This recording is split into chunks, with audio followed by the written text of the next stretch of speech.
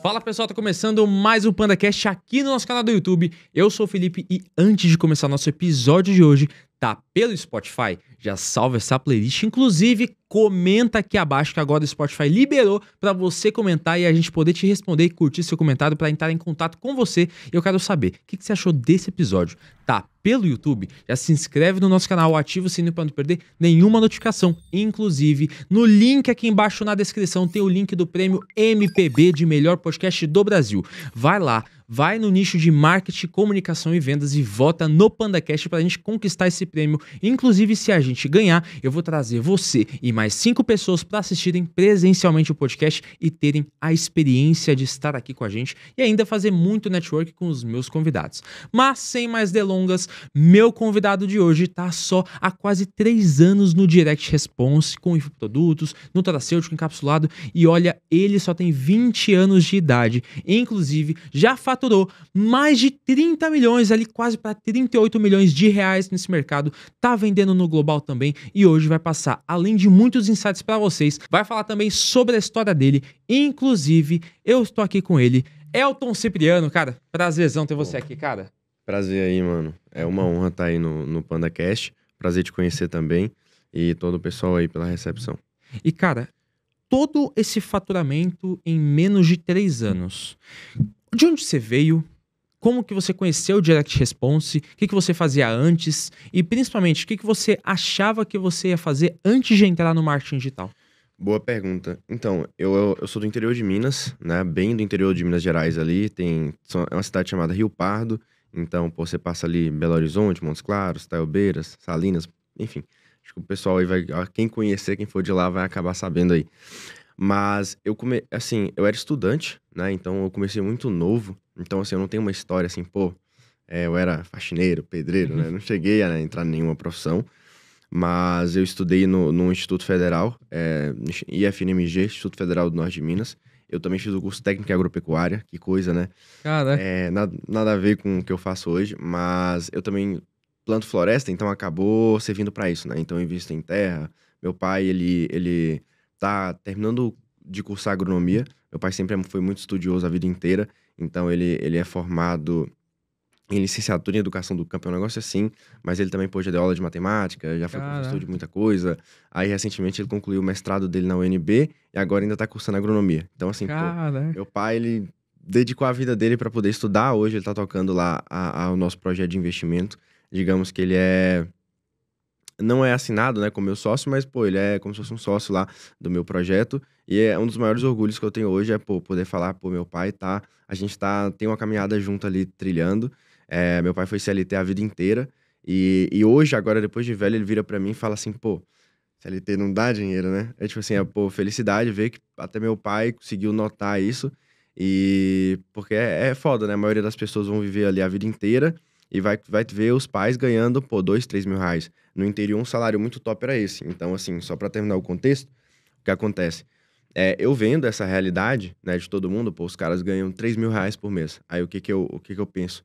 Se eu ganhar três mil reais, tá ótimo. Então, essa era a minha cabeça, né? Então, é, quando eu comecei no digital, minha ideia era ganhar os três mil reais, né? Mas, assim, só voltando um pouco mais atrás, eu tinha um sonho de me formar em, em direito e aí eu imaginava que eu ia começar ganhando pouco, os 3 mil reais depois já estava ótimo, e depois com o tempo eu ia construir carreira. Então eu, pô, eu ia estudar para um concurso, é, me especializar, fazer um mestrado, passar em juiz. Aí minha previsão era que, pô, talvez com um pouco ali de sorte, mas muita competência e estudo, com 30, 35, talvez 40 anos, eu conseguisse virar um juiz, talvez um desembargador e ganhasse 40 mil reais, 30 mil reais por mês.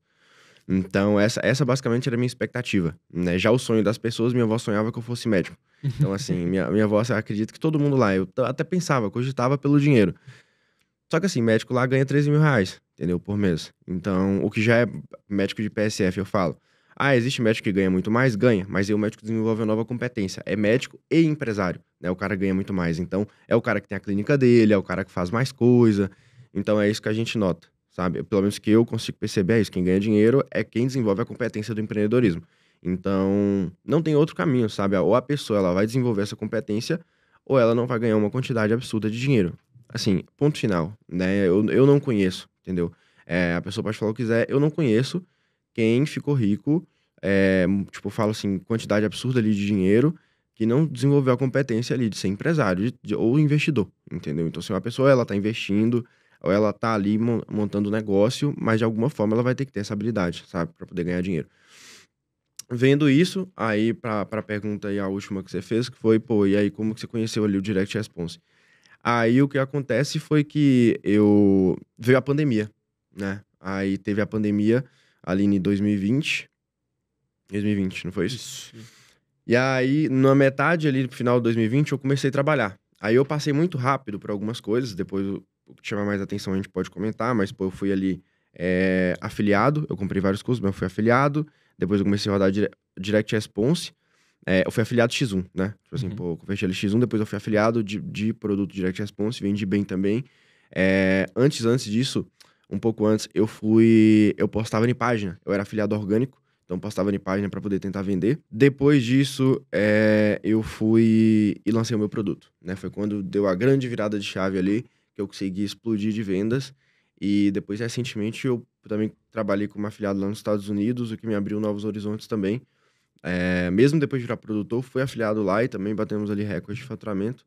É, até completar a jornada lá e tudo mais. Então, assim, é, foi uma trajetória aí tanto. Eu, eu diria que consegui passar até rápido por todas essas etapas.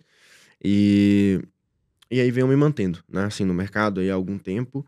E venho mantendo o faturamento, faturamento relevante. Né? E assim, quando você diz que você está no direct response e tudo mais, eu vejo que tem muita gente da nossa base de clientes que ainda pensa, pô, direct response, pô, beleza, é um anúncio para o público frio ali, é, sem é. ter que fazer remarketing, sem ter que ter, por exemplo, é, fazer outros vídeos para impactar de novo esse cliente, porque é um anúncio que você impacta o cliente pela primeira vez, já manda ele para uma VSL, que é um vídeo ali de tipo 10 até 40 minutos, e aí você, depois que você finaliza ali naquela parte do vídeo, ele pode ir para checkout e finalizar a compra. Então o Direct Response é de fato apenas isso ou tem outras etapas também? Cara, Direct Response, ele é o ato de, de conversão em um único momento. Né? Então, assim, até nos Estados Unidos chama marketing de resposta direta. Seria é, basicamente assim, você você manda o tráfego, responde em um único momento. Só que é, responde em um único momento, mas você pode aumentar essa resposta. Então, só complementando o que você falou, só faltaria o funil. Né? Então, a pessoa ela comprou ali em um único momento, mas tem estratégias que você consegue, pô, pegar esse cliente que comprou uma vez e fazer ele comprar duas, três, quatro na mesma, na mesma hora. É, é porque é que nem quando você vai numa loja, né? Você, você compra uma coisa no supermercado, já tem outra coisa ali no carrinho, você vai enchendo o carrinho, né? Pô, você, pô, comprei ali um, sei lá, o cara tava indo lá, comprou um produto de limpeza. Ele vai olhar, ah, tem outro, eu posso precisar disso. Ele vai lá e bota no carrinho também. A mesma coisa é o cara que acabou de comprar seu produto.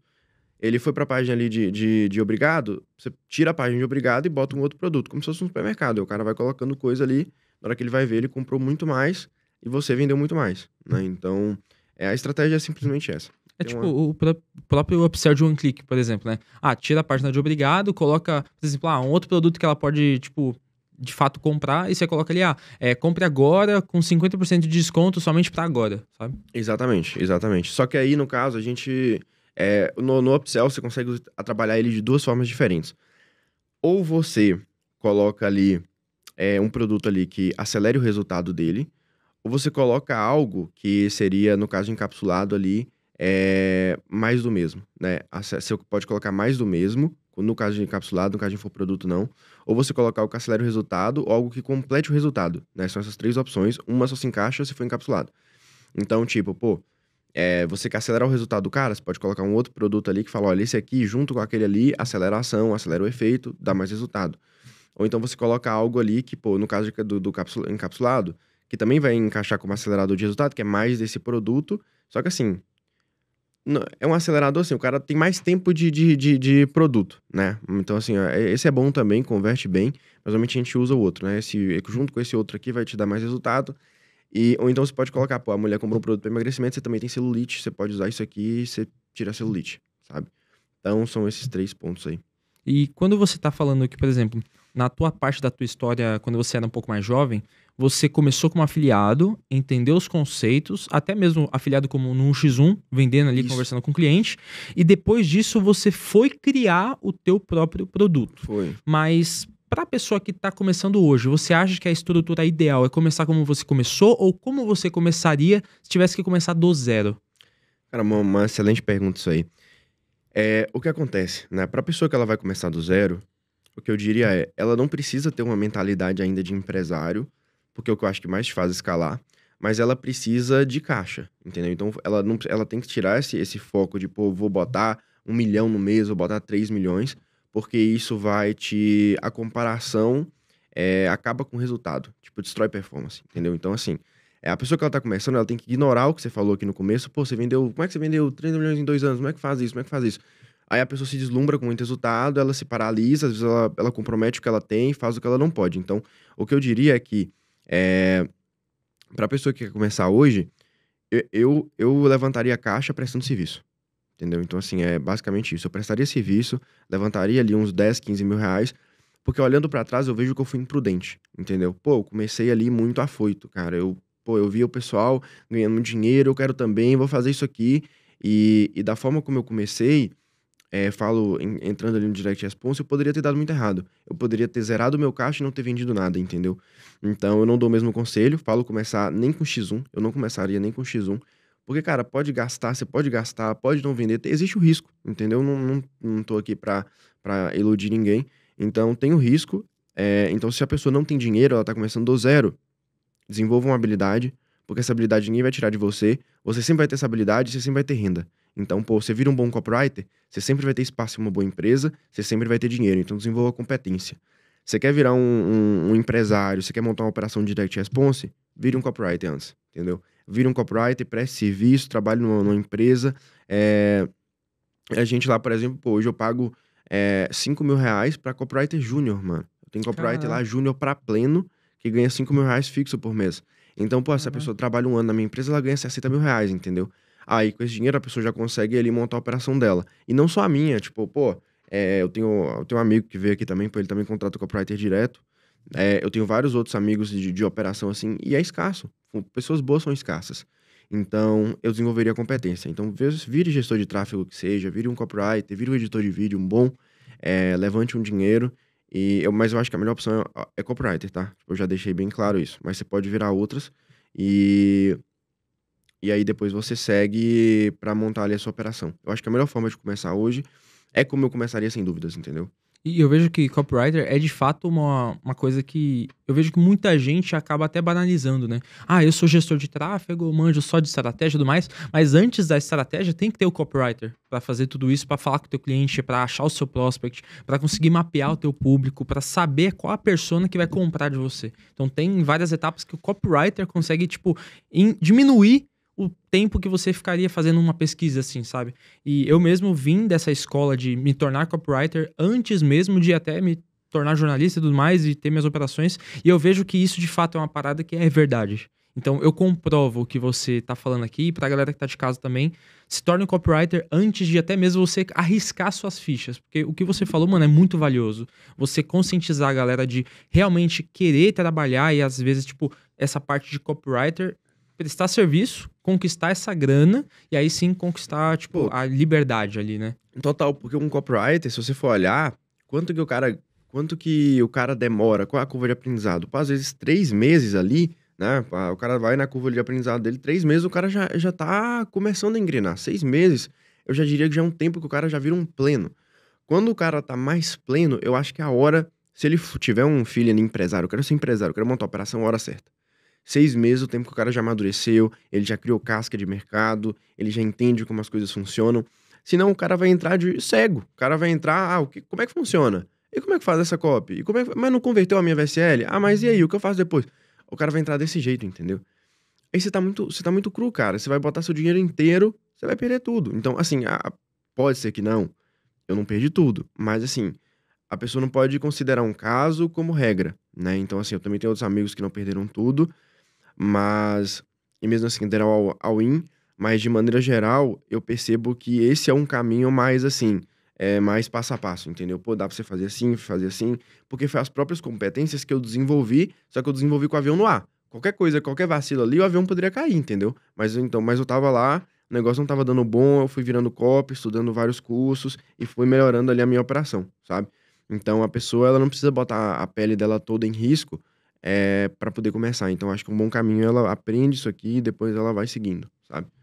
E você começou como afiliado, certo? Então, Comecei com afiliado. como é. que você fez, por exemplo, para você analisar o mercado e falar, pô, eu, eu vou me afiliar a esse produto porque eu tenho mais chances de conseguir mais conversão? O que, que você olhava para esse produto ou para o produtor? Olhava tipo para a margem que você ia tirar como afiliado também? O que, que você olhava que faria sentido você investir o seu tempo ali? Total. É...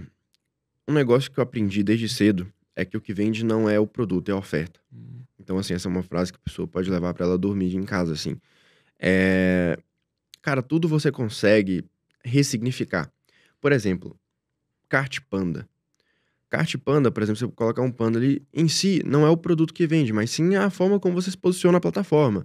Pô, tem uma conversão alta, tem um negócio bom, uma excelente plataforma, aí você cria um podcast. É tudo que envolve, que faz aquela marca ter algum significado.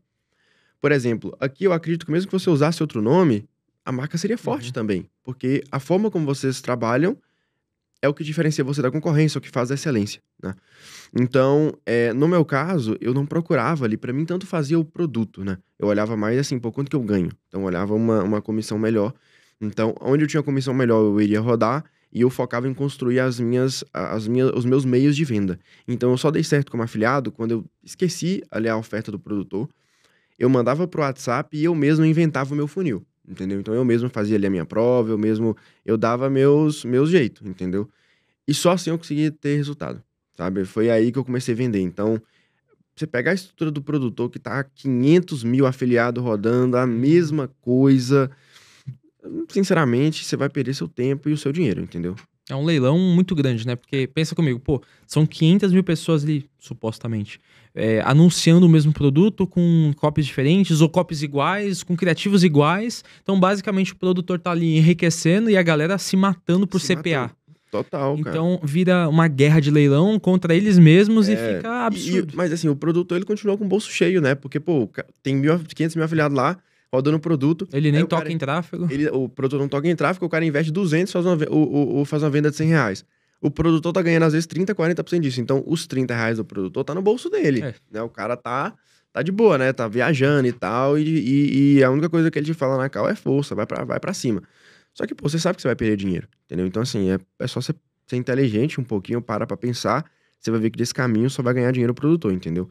Ou você cria o seu funil, é, ou então você pode até usar o funil do produtor. Mas aí você tem que vi- virar dono do seu produto. Esse é o mindset, entendeu? Hoje, por exemplo, produtor de encapsulado no Brasil, o que tem é empresa que você funciona igual drop, entendeu? Você faz o produto, você não paga nada, o estoque fica com o cara, né? E aí, na hora que o, o cliente compra o produto, o produtor envia direto para casa dele. Você tem logística zero. Então, assim, é, basicamente, é só. Única coisa que você tem que fazer é mandar pro design, o design faz o rótulo, você manda pro cara, o cara deixa, de acordo, você vende, o cara produz, porque deixa tudo integrado lá na plataforma, simples. Na hora que você vender, o cara lá automaticamente já entrega e você paga para ele o boletinho dele lá, ou, ou, entregado, ou integrado na plataforma, ou você paga o boletinho semanal. O, é, o boleto semanal é do, do- a faturazinha que vem ali dos potes que você vendeu. Isso é até melhor, porque não é. No drop a gente vê muito que pra você ter uma margem boa, você tem que comprar da China. A É, maioria dos total. produtos de qualidade estão na China. Aqui, você vê no Brasil, eu vejo que tem Nova Serrana, eu vejo que em Minas Gerais tem muito lugar também, que nem Nova Lima também tem muita empresa que muito. faz isso. Nossa, hoje é o que mais tem, assim. Cara, assim, é, é porque os nomes das empresas eu, eu desconheço, sério. Às vezes eu conheço ali os donos, né? Mas deve ter uns 10 hoje, sem brincadeira, deve ter uns 10. Então, a opção é o que não vai faltar pra pessoa, entendeu? A opção não é o que não vai faltar. E aí eu, eu vejo que entra muito naquela questão da dúvida até da pessoa que vai vender. Porque, vamos supor, público que está acompanhando a gente, que é de drop, já vende bem até, e quer entrar no encapsulado. Ele pensa, pô, eu vou ter que juntar um caixa ali de tipo 7 a 10 mil, 15 mil reais, que seja con- construir uma marca, né? É, com rótulo e tudo mais, para testar o tráfego e criar página e tudo. E beleza, ele vai criar um produto ali para celulite, como você deu o exemplo. E aí, como que esse cara consegue fazer, pô, passar para a fábrica, ó, preciso de uma fórmula X para celulite, vocês têm uma base para isso, algum- alguma coisa assim? cara já tem fórmulas pré-prontas que já são Uhum. aprovadas pela Anvisa. Ah, então, sim. assim, é, o cara às vezes não dá, vai dar pra ele inventar muito, né? Ele tem que conversar com a fábrica ali, eu consigo esse componente, eu consigo esse outro. às vezes pode dar uma encarecida também no produto, mas sim, ele pode só negociar lá e é muito fácil. O cara mesmo já agiliza para ele, entendeu? Mas já vai ter fórmulas. Essa, qual fórmula é boa pra celulite? O cara já vai te mandar, tem essa. Qual fórmula é boa pra isso? O, o, o cara já vai te falar, tem essa. Qual tipo de produto tem? Tem gota, cápsula, spray, gel, o que você precisa? Ah, tem isso aqui, você pode usar, entendeu? Só que, só um adendo, pra quem tá começando, eu começaria também, às vezes, com info, né? Porque assim, o encapsulado, você vende ele mais caro, você tem mais margem, só que você tem mais gasto para testar, entendeu? Então, digamos assim, se der bom, você pode ganhar mais? Pode ganhar mais. Mas se der errado, você perde mais. Então, assim, com todo. To, existe o custo de oportunidade. Então, assim, toda oportunidade ela tem um custo. Quanto maior a oportunidade, maior o custo. Né? Então, por exemplo, se eu, ah, eu quero começar na casa de aposta. É uma grande oportunidade? É uma grande oportunidade. Só que o custo é 30 milhões. Você tem que ter só para ter uma licença. Só para a pessoa ter uma ideia. Então, cada oportunidade, ela vai ter seu custo. Nesse caso de um encapsulado, é um pouco maior. Eu diria que o dobro. Então, assim, seu, seu, seu budget tem que ser o dobro. Entendeu? Então, você vai gastar 5 mil para testar um infoproduto, você tem que gastar 10 no encapsulado. Né? É mais ou menos essa conta aí. E, cara, eu vejo que é uma coisa não só importante, mas eu vejo que é primordial. Quando você saiu ali como afiliado, o que, que você olhou para se tornar um produtor? Quais foram as etapas que você viu que o produtor fazia, que tinha de afiliados, e o que, que você espelhou ali? Porque eu pego de base ali quando eu estava começando e eu via que, por exemplo, às vezes um cliente que eu não consegui converter no boleto, eu falava, quem que faz essa recuperação de boleto? Não sou eu, é o, é o produtor. Ou seja, eu tô gastando meu CPA para ele ter o lead quente e ele converter a pessoa que eu trouxe para a página dele. Então, tipo, que eu olhava muita estrutura assim, onde eu perdia muita grana. Então, é. o que, que é. você via e o que você vê, inclusive, hoje em dia, antes de entrar em assunto de global e tudo mais, falando de Brasil, o que, que você vê que é uma estrutura para quem quer se tornar um produtor que dê, dá certo e você, inclusive, consegue ter uma margem boa? Cara, é você fala mais em questão de funil, né? Isso, isso. Entendi. É, cara, o que eu notava, principalmente foi um dos fatores que me fizeram virar produtor, era porque, como afiliado, você vai ganhar do produto front. Só que, às vezes, o ROAS é do upsell. você entendeu? Então, assim, é, é, é foda, porque se você ganha só do primeiro produto, é, às vezes, sendo produtor, você já tem prejuízo. Então, pô, eu acho que é, é iludir muito afiliado o cara achar que se ele ganhar só do front, uma comissão que ainda é baixa, ele vai ter ruas. Hoje, no nível de mercado que a gente tem, a galera fala, pô, Estados Unidos sofisticado, sei lá. Pô, o Brasil é um dos países mais sofisticados que tem. Assim, VSLs, pô, a gente. Eh, eu comecei a lançar VSL podcast, eu fui um dos primeiros a lançar no Brasil. E aí depois eu descobri que já. Eu falava que eu era o primeiro, mas depois eu descobri que a Empírico já tinha feito há algum tempo atrás. Então, assim, enfim. É, acabei, mas assim, a nossa modalidade ali de marketing direto, eu fui o primeiro, né, no modelo de negócio. A Empíricos foi para investimentos. Só que é, eu fiz isso há dois anos atrás, um ano e meio. Então, assim, pô, é uma VSL Podcast. É uma VSL Podcast. Então, pô, o, o, e assim, hoje tem VSL de tudo quanto é formato que você imaginar. Pô, bem produzido, igual a gente tá fazendo aqui, só que com pitch no final. Pô, é, é, existem VSLs de, de, de quanto é jeito, subindo, laboratório, demonstração, não sei o que lá, traz especialistas. Hoje tem de tudo quanto é tipo. Nos Estados Unidos ainda a gente vê muitas VSLs escaladas, por exemplo, fundo branco, letra preta. Então hoje eu considero ah. o Brasil um dos mercados mais sofisticados que tem. A gente tá no pódio. Assim, a gente não pede muito para ninguém, não, sabe? Então é ilusão a pessoa achar que o mercado ele tá tão abaixo que você pode fazer qualquer bosta que vai vender, entendeu? Eu acho que hoje você tem que se gastar um pouco mais de energia. E aí, até por isso que eu pô, preciso virar produtor, porque eu consigo ter mais margem. E aí, aquele funil ali das, das próximas etapas vendem muito. Principalmente o Upsell 1 e 2 ali. É, e o primeiro downsell, ele vende pra caramba. As outras são diminui pra caramba, entendeu? Eu diria um funil básico, front, upsell 1, downsell para quem não comprou um, independente de quem comprar os dois, aí a pessoa vai pro, pro upsell 2, entendeu? Então ficaria basicamente assim, oferta, upsell 1, upsell 2, e quem não recusou upsell 1 tem um downsell. Uhum. E aí quem compra vai Aí teria dois. margem mesmo assim também, né? E, e, uma coisa que a gente vê aí muito... Você teria, você teria um pouco mais margem para trabalhar, mas mesmo assim você tem que dedicar para fazer uma boa oferta. Exatamente, isso que eu ia falar. Nada foge. E quando a gente está falando de Estados Unidos, entrando no assunto global agora, é, muita gente fala que lá nos Estados Unidos o que funciona é você perder um pouco na primeira venda, mas você acaba ganhando no LTV ou em outros produtos, como a gente está falando agora, no upsell, downsell, cross-sell. E, cara, eu vejo que é um ponto muito importante ter a criatividade para conseguir fazer uma VSL ou entender tão bem do seu produto e da pessoa que vai comprar ele, de você fazer uma página de vendas congruente fazer anúncios muito bons. Eu vejo, tipo, Facebook, TikTok, no Instagram, que são os mais fortes ali. E até mesmo Tabula, mas, né, Brasil, falando assim, nível Brasil.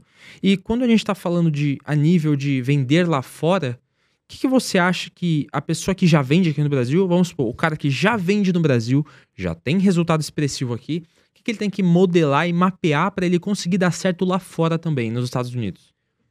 Cara, eu diria que lá fora é um pouco mais simples hoje em dia para você validar, tá? Então, o cara que ele já tem resultado no Brasil, ele só precisa ter boa vontade, entendeu? É, só precisa estar disposto a fazer coisa nova.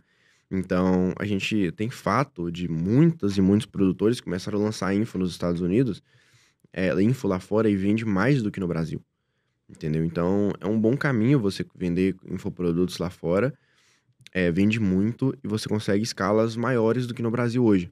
Porque as VSLs lá são muito simples. Então, você pode pegar uma VSL, você pode pegar uma ideia de lá, você otimiza essa ideia, pô, os caras lá são muito acostumados a fazer VSLs de uma hora e meia, 50 uhum. minutos. Aqui, é, eu faço VSLs de, de, pô, 30 minutos, 40 minutos, já vende muito. Então, o que eu comecei a pegar lá, às vezes eu pego uma ideia do cara lá que tá, pô, com uma hora e meia de VSL, eu transformo em uma ideia mais sintetizada, eu mudo bastante coisa, é, e eu consigo ter uma excelente conversão, né? Modelando, às vezes, a oferta de lá e rodando dos próprios Estados Unidos. Então, a pessoa que quer rodar lá, ela pode procurar boas, boas ideias ali é, de VSLs e adaptar aquilo. Se ela vai rodar um infoproduto, ela adapta essa oferta para um infoproduto, e aí ela consegue rodar com boas margens, entendeu? É, se for vender um, um, encapsulado lá como afiliado, ou como produtor, se for, é, ela consegue adaptar isso aí e também começar a rodar, entendeu? É, então não tem muito segredo. Lá, por exemplo, se for rodar como afiliado, você consegue pegar a VSL do produtor, você consegue otimizar ela e rodar como afiliado. Né? Então, afiliado você roda em plataformas como BuyGoods, Digistore, lá são plataformas muito famosas. É, eu acredito que a Cartpanda, ela roda internacional, mas ainda não tem afiliação, né? A gente tem afiliação e coprodução também. Entendi. Então a pessoa pode, poderia procurar um produto até na própria Cartpanda, é, que algum produtor lá de fora, para ela poder se afiliar e começar a rodar. Lá nos Estados Unidos vale a pena porque a comissão como afiliado é muito alta, entendeu? Uhum. Então eu consegui escalar muito lá como afiliado também, até porque a comissão é muito alta. Mas aí quando a gente está falando de um afiliado ali, não é no formato 1x1. Não, não é no X1. Tanto que até no Brasil, quando eu mais ganhei dinheiro, eu não tava mais como um X1, não. Então, assim, quando eu fui afiliado, mas eu fazia direto já.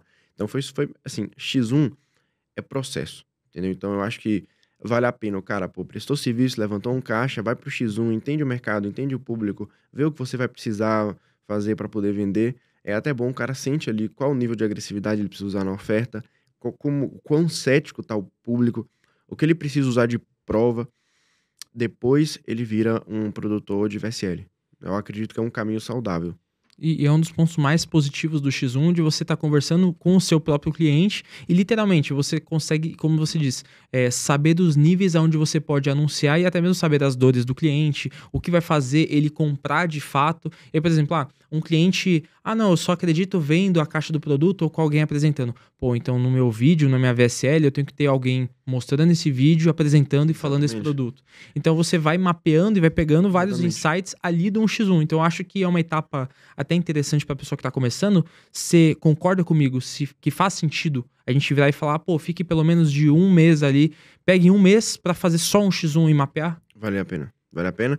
Até porque assim, pô, a pessoa ela pega ali, ela vai entender muitos gatilhos mentais. Né? No copywriting, gatilho mental é o que são pontos ali, elementos que você usa na VSL para poder é, é, gerar ali um, algum sentimento ali na pessoa, no seu prospect. Então, seja deixa gerar credibilidade, gerar confiança, gerar mais desejo no produto. Então, é o que acontece. Você consegue, quando você está no WhatsApp, saber muito bem quais são os principais gatilhos. Então, no blog de oferta, o cara só vai comprar se tiver ali a caixa do produto. Você pode criar uma cena ali específica, onde você mostra ali o cara, pô, o cara tem ali a caixa, esse aqui é o produto. Você pode criar ali, é... por exemplo, sabe que a mulher ela só acredita se tiver ali um especialista. Pô, chamar um especialista aparecer na VSL. Então, o X1 ele vai te dar essa visão. Entendeu? O que, que você consegue fazer ali. E não só te dar essa visão, você também vai ter ela na VSL. Só que na VSL você vai gastar mais. Então, falando para iniciante, é, eu, eu começaria no X1. Se você já tem mais dinheiro e tudo mais, é VSL padrão, né? O cara tá fazendo VSL VSL, segue nas VSLs e aí você vai conseguir ter seus testes ali. Só que eles saem mais caros, né? Sai mais caro. E, e outra, é, hoje a gente tem muita IA para tudo. Muito eu IA. acho que faria muito sentido utilizar a inteligência artificial para você mapear um modelo que dá certo no Brasil e testar lá fora. Cara, Também. Pô, pega tua VSL e muda a legenda, tipo, pra tudo pra inglês, é, bota a IA narrando que fica perfeito em inglês e espanhol, fica muito melhor do que em Total. brasileiro. hoje, hoje, assim, eu falo que é muito fácil o cara fazer quase todo o processo da VSL. O locutor ele não precisa pagar mais. Expert ele também não precisa pagar mais, ele consegue gerar ali no, no, no Reigen. É, existe IA que gera e-book inteiro, que faz produto inteiro para você. Existe é, inteligência artificial, cara, hoje eu uso para fazer pesquisa de copy, eu uso para fazer estudo de mercado. Tudo às vezes eu faço na inteligência artificial ali, e aí ela gera ali tudo bonitinho, só precisa fazer os prompts certos. É, mas, assim, IA hoje é, é uma mão na roda. Nossa, eu diria assim, é, você consegue fazer quase tudo hoje com IA. É, gera tudo, até vídeo edita. Né? Então tem, existem IAs lá que edita vídeo ali inteiro, bonitinho ali o vídeo. Então você consegue hoje enxugar muito sua equipe, sabe? Usando ali ferramentas de IA. Você consegue, às vezes, você mesmo editar ali seu vídeo, você mesmo traduzir ali alguma, alguma cópia ali através de, de IA. Você consegue. Eu não sei o que você não consegue fazer, sabe? Hoje existe isso, consegue automatizar IA para poder responder, é, fazer fluxo de cliente no WhatsApp. Você consegue usar IA para tudo, cara. Tudo você consegue usar IA. Então hoje a gente usa muito. É inclusive um- uma das coisas assim que eu gosto, que eu gosto muito na empresa e que eu acabei estudando, né? Então, tipo, recentemente eu assinei ali uma uma ferramenta que, que ela ajuda muito você na- nas pesquisas ali de copy, né? Então ela, pô, lê ali contrato, faz algumas coisas ali mais simples, usando o GPT mesmo. Então, é, é muito, é muito útil, sabe? Eu acho que é, as IAs elas só tendem a, a crescer e os empregos de muita gente no mercado é, vai ficar ainda mais difícil, né? Da pessoa encontrar ali é, empregos, ah, eu falo em cargos ali mais manuais, porque o mesmo funcionário utilizando IA, ele vai ter a força de trabalho dele, pô, era uma, ele vai ter tipo 5x em uma pessoa, entendeu? Porque imagina o cara que vai editar vídeo por IA. Um editor vai entregar muito mais SLs, né? Então até compensa para as pessoas que têm empresa de começar a estudar mais é, esse processo de IA, porque ela pô, consegue fazer muito mais com menos. Então, acho que esse aí é o, é a, a- a- o segredo da IA tá nisso. É você fazer mais com menos. Então, é, você consegue, às vezes, ter força de trabalho de 80 com 20 pessoas, entendeu? E isso é incrível, porque até mesmo a questão de, por exemplo, a entrega fica muito mais rápida. Quando a gente está falando de um copywriter há dois, três anos atrás, a gente, a gente tá falando de delegar uma coisa que a gente teria que esperar, tipo, uma, duas semanas a pessoa fazer, modelar e mandar uma proposta. Tipo, a IA não. Se você souber lidar e pedir para ela um prompt Total. certinho, ela já te entrega, tipo, meio que instantâneo. E é até um pouco absurdo, mas eu vejo que um caminho para as pessoas que são capacitadas, por exemplo, usar o exemplo do copywriter que a gente está falando. O copywriter que, por exemplo, ele nicha a especialidade dele. Ah, eu sou um copywriter especialista em IAs para o seu negócio. Pô, eu consigo, eu consigo fazer qualquer IA trabalhar independente da tua operação. Pô, Total. seria um copywriter acima da média que as pessoas teriam o, valor, no caso, viria o valor nele, no caso. E eu acho que é uma coisa muito importante você saber modelar e se valorizar, né? Porque, pensa comigo, ah, como advogado, por exemplo. Pô, quantos advogados não tem no Brasil? É o país que mais tem advogado no mundo. Total. Então, para você ter sucesso nisso, eu imagino que você teria que ser um advogado nichado. Eu sou um advogado especialista em infoprodutos digitais e, tipo, algo Total. assim, sabe? Eu, eu já vi muito isso acontecer.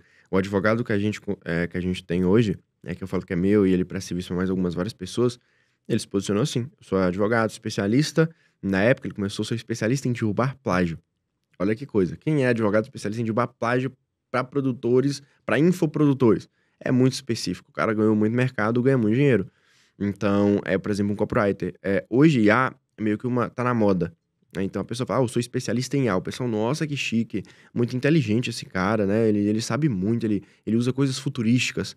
então é mecanismo único, né? A gente Uhum. sabe que na prática você vai conseguir aprender IA em um dia, pô. Você vai olhar lá, não, não fala aprender tudo, mas, pô, é- são ferramentas. Sim. Se você tiver uma listinha de ferramentas e saber como é que você usa ela, pronto, você também é um especialista em IA.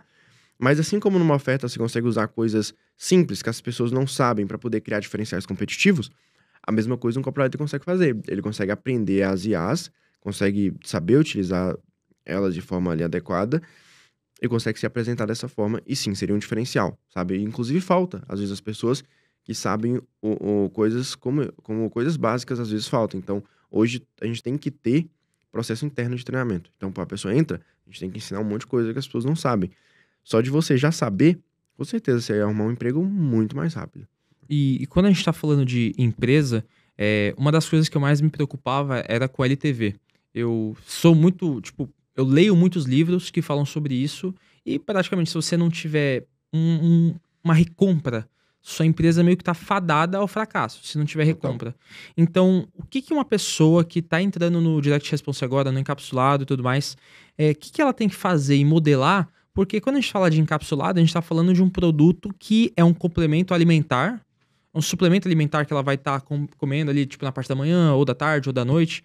O que, que a pessoa, como produtor, pode mapear para fomentar que os clientes, os leads dela, recomprem dela cada vez mais? Cara, eu acho que pessoa que trabalha com marketing direto e foca em recompra, a, o, o, cara que trabalha com marketing direto e foca em recompra, eu acho que ele tá a um passo de quebrar a empresa dele. Tipo, eu acho que vai, é um contraponto, né? Vai contra o que as pessoas acreditam. Só que o que acontece? Marketing direto, você tá usando uma oferta mais agressiva, certo? Então, assim, sua recompra não vai ser tão alta mesmo, entendeu? Você vai ter uma recompra ali, vai ter, mas ela vai representar um faturamento tipo de 10% da sua empresa. Não é game changer, tá? Então não é tipo uma fabricadora de carro. Toyota, o cara compra Corolla, compra Hilux, fica comprando, comprando. Não, não é assim, entendeu? Esquece isso. Eu acho que o cara que vai ficar focando nisso vai passar um ano de mercado, ele tá fora do mercado, ele tá quebrado. Porque não existe muita recompra mesmo, entendeu? Então eu falo porque, assim, desde quando eu trabalhei, desde todo o meu experiência de mercado, eu não tive tanta recompra assim. E aí eu vejo que meus amigos também não têm. Então, assim, existe uma recompra ali, um limite ali que tal, mas você não consegue melhorar muito disso, porque senão você teria que abrir mão de, de diminuir muito a promessa do front. Aí você entra em outro modelo de negócio, você entra no modelo de negócio de branding.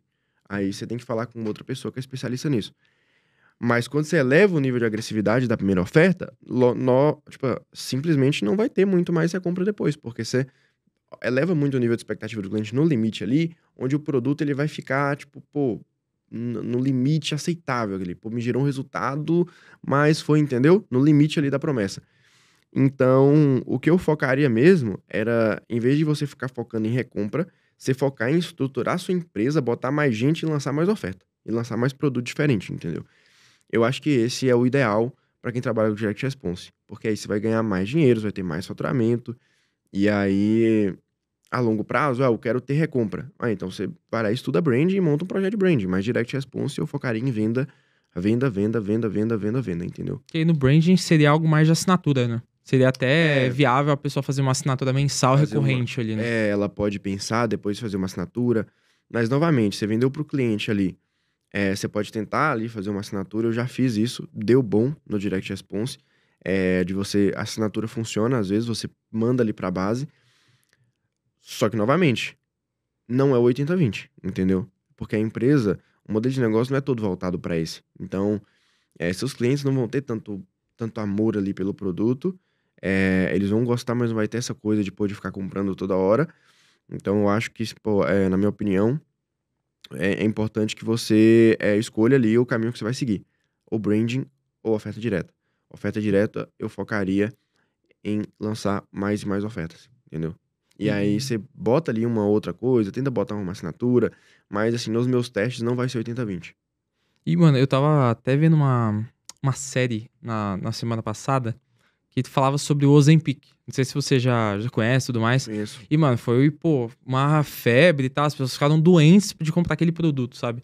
E, e eu via que, nossa, meio que o mercado de encapsulado, esse meio, é, é uma necessidade que vai ter pra sempre teoricamente, né? Pô, as pessoas querem sempre estar, tá, é, tipo, bem de saúde, querem tomar vitaminas, querem, tipo, ficar mais fortes, querem ficar mais bonitas, querem, tipo, sempre estar tá se aperfeiçoando.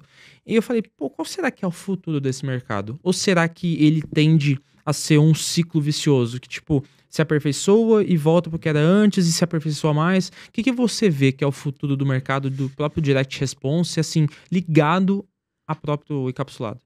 Cara, assim, é que o encapsulado ele tem uma diferença enorme do Ozempic, né? Porque o Ozempic, ele de fato foi um medicamento criado, medicamento criado ali com foco ali em diabetes, né, para o cara resolver ali diabetes. Então, pô, ele é, um, é produzido pela indústria farmacêutica, ele tem... Eu não consigo fazer um Ozempic, entendeu? Tipo, fora de cogitação. É, se eu conseguisse fazer um Ozempic, aí de fato eu conseguiria fazer uma oferta muito black é, fala assim, pegar pesado na promessa, porque o produto é bizarro. Eu conseguiria gerar um, entregar um produto ali muito bizarro também e a pessoa iria continuar comprando. Não. Só que a gente não consegue. Encapsulado é polivitamínico. né? Então você vai mudando ali, você vai botando ali a dosagem, você consegue encontrar ali um outro componente e tal. Mas em resumo é multivitamínico, tá? Então você tá vendendo multivitamínico. Então, de fato, é, se você qualquer pesadinha que você dá na promessa, você tem que entender que você tá entregando multivitamínico. Por isso que você não pode esperar uma recompra gigante com o Mozambique. Então, mas sim, eu, eu não vejo é, fim nos encapsulados. Por quê? Porque, porque às vezes falta ali vitamina no corpo do cara. Realmente sempre vai ter ali um mercado pra gente estar vendendo isso daí, porque sempre vão existir as dores. E, se- e- e principalmente nos Estados Unidos e outros países, a má alimentação é muito grande, né? Então sempre vai existir ali pessoas, pô, obesas, pessoas com problemas em geral, que, que esse produto vai ser a solução, né? Vai, vai ajudar, você consegue mostrar que aquele produto é a solução pro cara. É, então eu vejo que é um mercado que só tende a crescer. Quanto ao futuro, eu penso que é, não existe muito é, futuro. Falo de o mercado mudar muito, né? Eu acho que o que mais muda é você quanto à sua empresa. Então, assim, quanto ao futuro, tipo, pô, como mercado, pô, a gente vende mercado global. Você consegue vender em diversos países, vende para vários idiomas. Você consegue é, vender infoproduto, consegue vender no traceu, consegue vender como afiliado em diversos países, consegue sei lá, com, trabalhando bem traba trabalhado, você consegue se, talvez virar produtor num desses mercados, você consegue fazer muita coisa.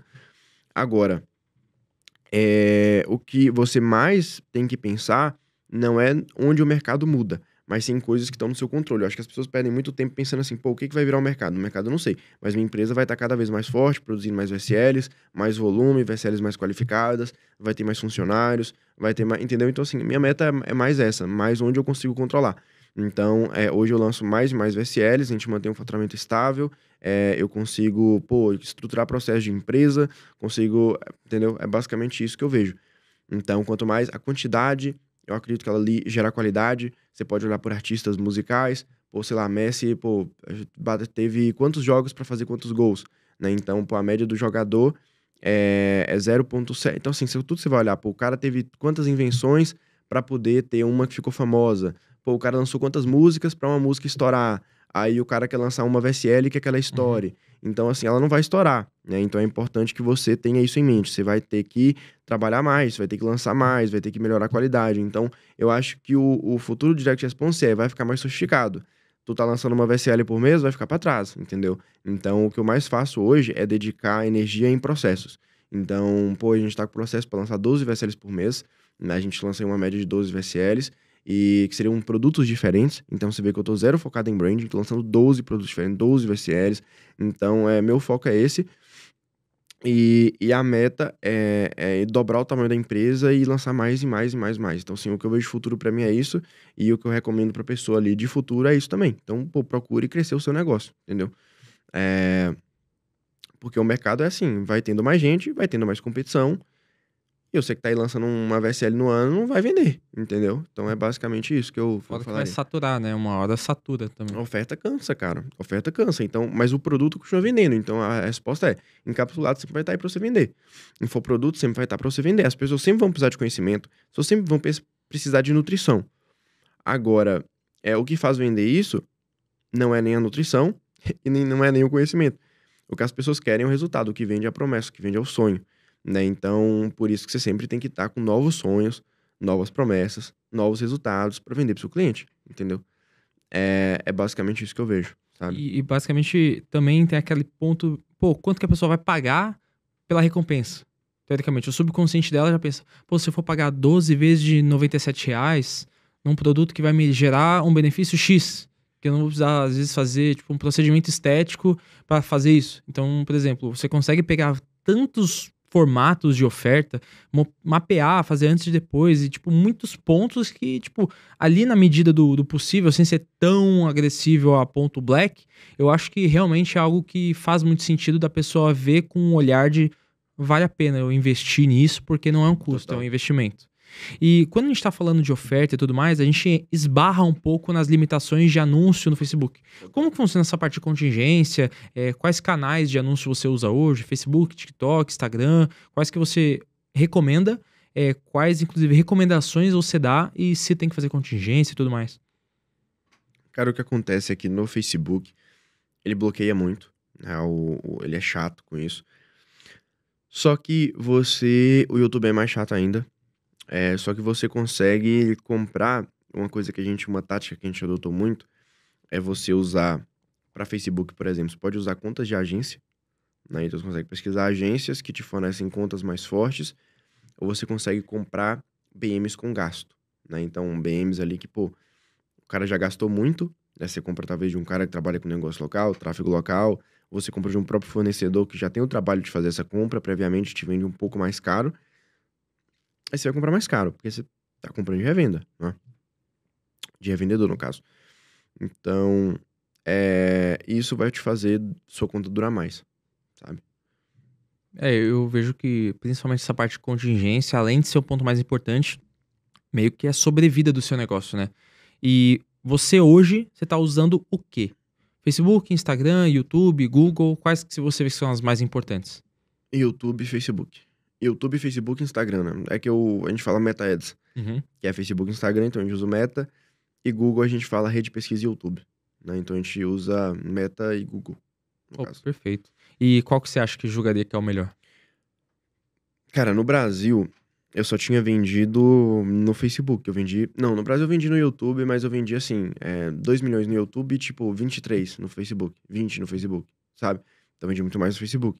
Já lá fora, a gente já vende. é, O Facebook ele pode até às vezes faturar igual, mas o dinheiro vem mais do YouTube. né? Então a gente vendeu muito, teve um lucro ali muito bizarro no- usando o YouTube. Então o YouTube lá fora é muito forte. Tá? Então eu focaria em rodar os dois. é, Lá fora, os dois vão dar bom, só que o YouTube ele tem um diferencial dele. E você acha importante fazer rede de pesquisa até no Google? Nossa, demais. As paradas Tech demais. Manager. Ou, por exemplo, ah, fazer um funil de vendas que leve até pro teu Reclame Aqui, por exemplo. Aí, tipo, você, que passa pra pessoa perguntar, ah, é, é confiável? É isso, é aquilo? Pra pessoa cair, de fato, na sua página do seu site de novo. Você acha que vale muito a pena? Cara, isso aí valeria você testar. Às vezes não vai dar tão bom, mas assim, rede de pesquisa ali com o nome do produto, sempre, entendeu? Isso sempre vai dar bom. Eu acho, é, assim, todos os produtos que eu fiz, você tá rodando tráfego, seja no YouTube, seja no Facebook, você botar o ranqueamento ali da palavra-chave, comprar produto X, comprar produto Y, quero produto Y, ou então você pega um meio de funil ali, é, o produto Y funciona mesmo? Aí você pega o cara que viu, mas ainda tá na dúvida, cria mais credibilidade, vende no final, sempre vai dar bom. Entendeu? Sempre vai dar bom. Principalmente o comprar produto. O cara, pô, às vezes perdeu o vídeo, ele tava no metrô dele lá, indo pro trabalho dele, ele viu a sua VSL ali com fone de ouvido. E aí o cara, pô, precisava comprar, né? Eu esqueci e tal. O cara chega na casa dele, como eu vou? Comprar produto tal. Vezes o cara só lembra o nome do produto. Aí já aparece lá, ele vai lá e compra. Então você ganhou o dinheiro, entendeu? Então, às vezes eu já tive ROAS de 15, 20 na rede de pesquisa. Você bota mil lá, bota 20. É só mais um ponto de contato. É, um ponto de ele. contato. E vale muito a pena. Exatamente. E você acha que suporte ali é WhatsApp, e-mail? O que, que você acha que é o ideal para um cara que tem um infoproduto? Por exemplo, se você tiver um infoproduto ou encapsulado, qual que seria o melhor meio de suporte para cliente que tem dúvida e tudo mais? Forte. Cara, no Brasil, WhatsApp, né? Lá fora, seria... O WhatsApp também é, usa, mas seria mais e-mail lá fora. Sabe? E-mail e ligação. Lá fora é mais isso. Tanto que lá é mais call center mesmo e e-mail. Então, depende do mercado. No Brasil, o WhatsApp é rei, né? Uhum. O WhatsApp é rei. Às vezes, o e-mail marketing toma um cacete do WhatsApp. Você, você bota aquele WhatsApp verificado ali, bota a inteligência artificial ali, o negócio vira o bicho, entendeu? Ah, isso até a inteligência artificial usa pra caramba, né? Então, Nossa, muito bom Muito, muito bom. Nossa, para WhatsApp no Brasil, se a pessoa não tem API né, do WhatsApp oficial, tá perdendo tempo e dinheiro. Se ela não tá usando a inteligência artificial para otimizar os atendimentos, ela também tá perdendo tempo e tá perdendo dinheiro, entendeu? Então no WhatsApp é obrigatório você fazer isso aí para ontem, entendeu? Perfeito. E, mano, pra gente entrar na nossa dinâmica do PanaQuest, como que funciona? Eu vou sortear com você três cartas com três temas diferentes. Aí você vai passar o melhor insight que você pode dar do seu conhecimento nesses anos sobre cada um desses temas, beleza? Beleza. Então, vamos sortear e principalmente vamos começar com a dinâmica do PanaQuest. Toca a vinheta do PanaQuest com o Elton Cipriano. Começando a nossa dinâmica do PanaQuest agora com o Elton. Vou começar a embaralhar as cartinhas aqui. Eu vou tirar a primeira e não vou ver. Pode tirar a primeira. E, se você quiser, pode escolher uma dessas três aqui também. Beleza. Temos nossos três temas agora. Qual que você quer primeiro? A do meio. Beleza. Primeiro tema: um desejo que o Elton tem. Elton, um desejo que você tem na sua vida, ou algo que você deseja ainda para o seu futuro, ou até mesmo dentro da tua operação, dentro do mercado que você trabalha, um desejo. Cara, assim, é, é um desejo que eu sempre tive foi ter é, um patrimônio, assim, muito, muito grande, né? Sempre tive sonho de ficar muito, muito, muito rico. Mas isso, isso aí requer tempo e tudo mais. É, é alguns, algumas metas que eu não, não, não gostaria de compartilhar aqui em público, Uhum. mas assim, é para minha empresa, assim, eu tenho vontade de dobrar o tamanho, eu quero chegar a 50 colaboradores e eu tenho vontade de fazer isso nos próximos seis meses, sabe? Então a gente está bem acelerado nessa meta é, de dobrar de tamanho, fazer mais coisas, expandir, fazer mais mercados. E esse daí é um desejo que é mais tangível, né? Então é, seria basicamente isso aí. Um desejo que eu tenho hoje que é que é meta, que eu mais estou trabalhando em prol, é de crescer aí a operação. Perfeito. E agora, qual a próxima cartinha que você quer? Nosso próximo tema? Da direita ali. Beleza. Olha só.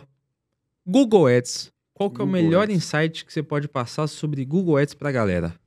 Cara, o Google ele dá um ROI bizarro. Compensa quem não tá rodando começar a rodar para ontem.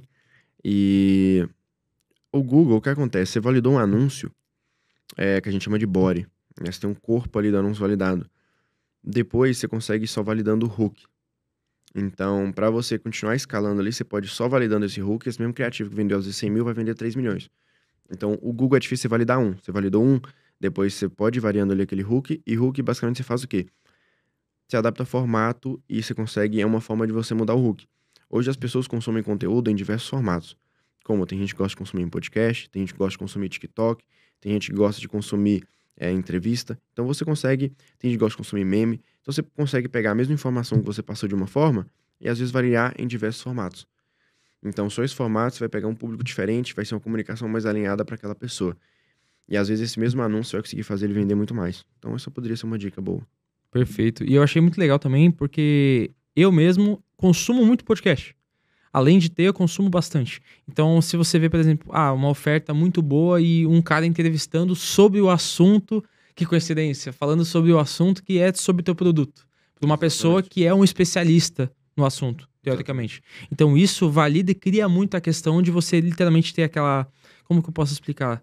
Autoridade para falar sobre aquele produto, né? O especialista falando autoridade sobre aquele produto e aí depois o pitch no final, como você falou. É uma coisa que Exatamente. dá para testar muito bem também, né? Exatamente. E agora, nosso último tema. Contingência. Qual que é o melhor insight sobre contingência? Contingência, a gente até trocou uma ideia sobre isso, né? Assim, sobre contingência. Mas o que acontece é que é, contingência, você só tem mais trabalho a pessoa que tenta criar os ativos dela do zero. Né? Então, assim, eu falo, por exemplo, uma conta de Google, ela é um ativo, né? Porque assim, pô, você vai criando dados e tudo mais. Facebook, normal.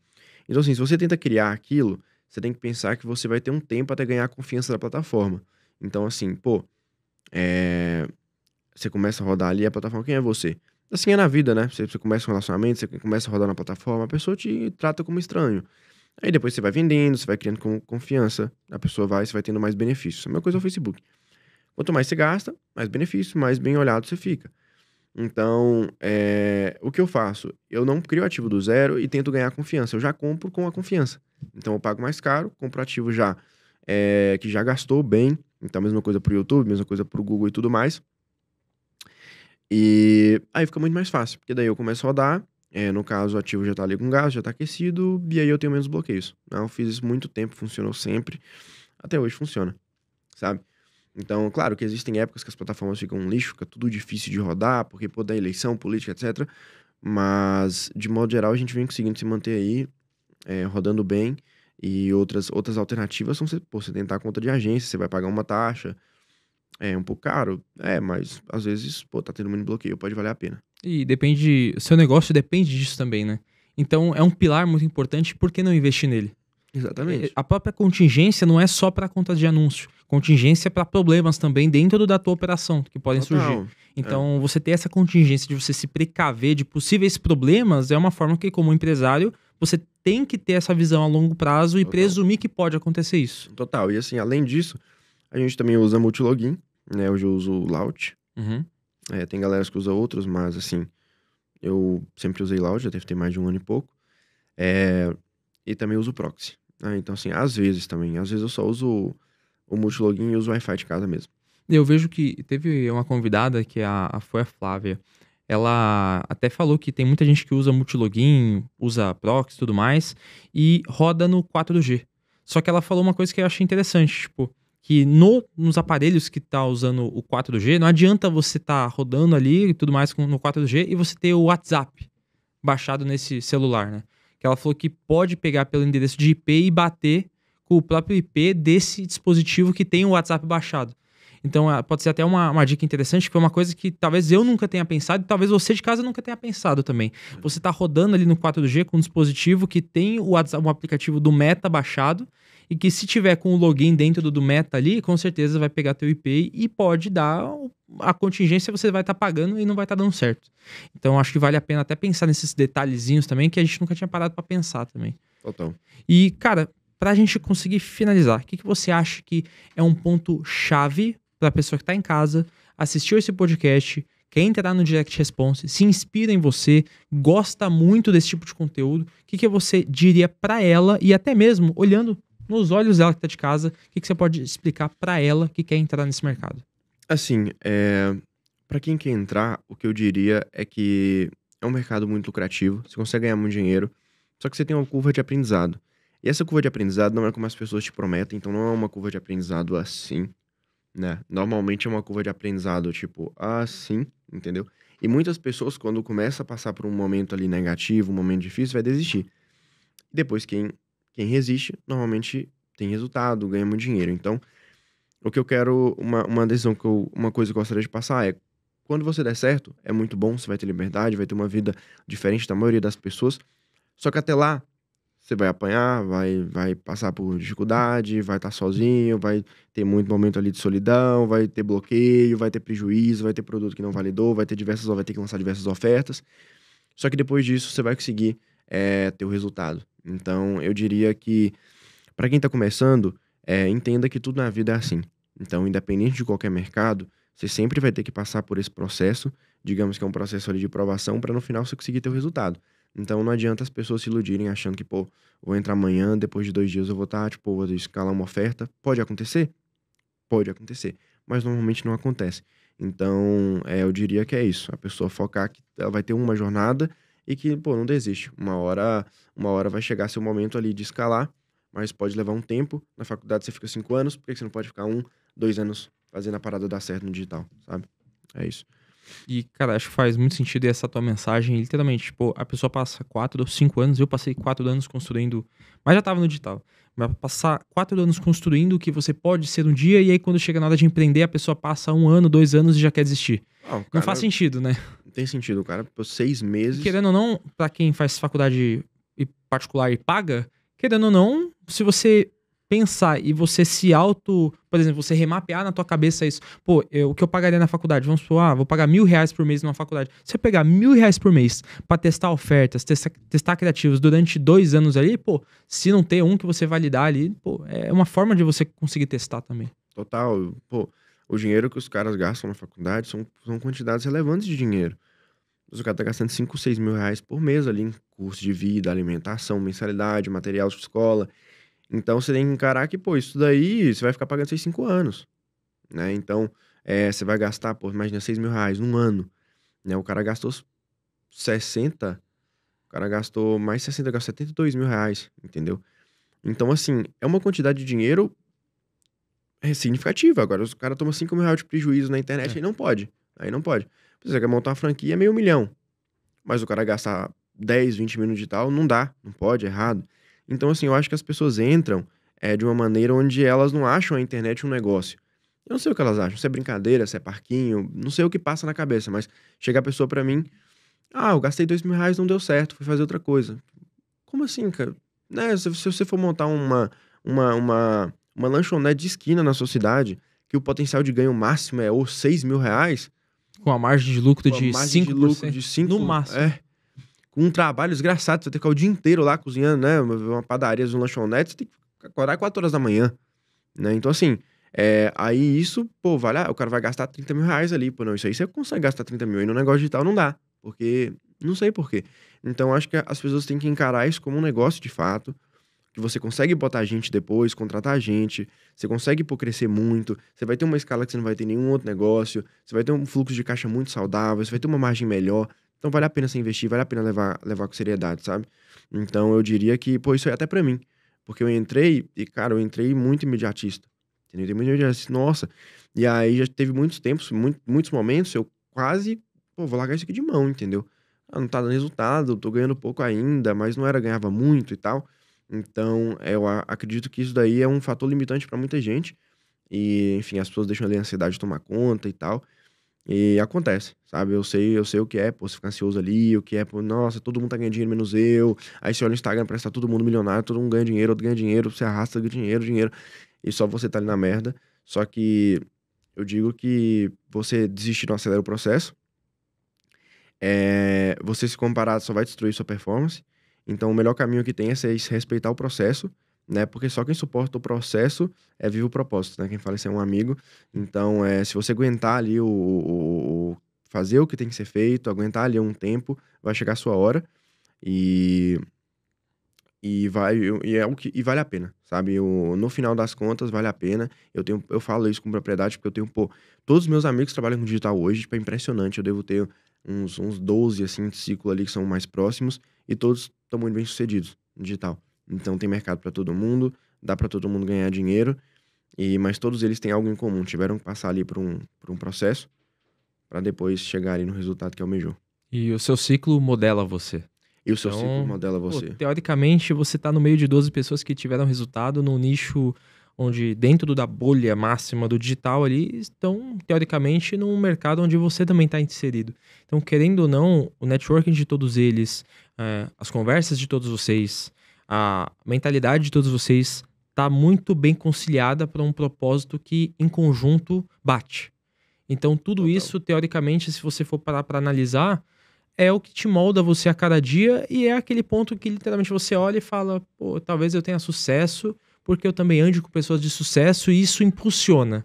Tem pessoas que são fora da curva sozinhas, mas se ela tá acompanhada, ela consegue ir muito mais longe com isso, né? E, cara, até pra agradecer tua presença, pelo teu tempo aqui, a gente sabe Ok. como é valioso, pô, cada hora, cada minuto do cara que empreende, eu sei que é valioso, mas a gente trabalha pra isso, pra conseguir ter essa Com liberdade, tanto de tempo, você, pô, mesmo trabalhando, tá aqui gravando podcast comigo e eu acho que isso é uma das coisas mais valiosas, né? Você ter tempo, qualidade de vida e poder também desfrutar não só da grana que você ganha, mas também do tempo que você ganha, que eu acho que é a moeda mais valiosa que a gente tem. Total. E, inclusive, obrigado pela presença, obrigado pelos insights. Pô, a Cart Panda, falando até como plataforma e falando como pessoa também, muito da hora de conhecer. E principalmente pelos insights que você passou aqui pra gente, tenho certeza que você pode mudar muitas vidas, como vários episódios já mudaram. E eu espero que você que tá aí em casa, se esse episódio te abriu a mente, que você, se você teve muitos insights referente a tudo que o Elton passou aqui, deixa nos comentários aí, deixa o seu like, se inscreve no canal e até mesmo deixa aqui abaixo na descrição o seu voto pra gente participar e, na verdade, pra gente vencer o prêmio de melhor podcast do Brasil. Elton, obrigado pela tua presença, cara. E pra quem Valeu. quer te seguir, qual que é o teu Instagram? É Elton.cipriano. Perfeito. Vou deixar aqui na bio, então. Cara, obrigado mais uma vez Valeu. pelos insights. Foi um prazer imenso. Pô, E-.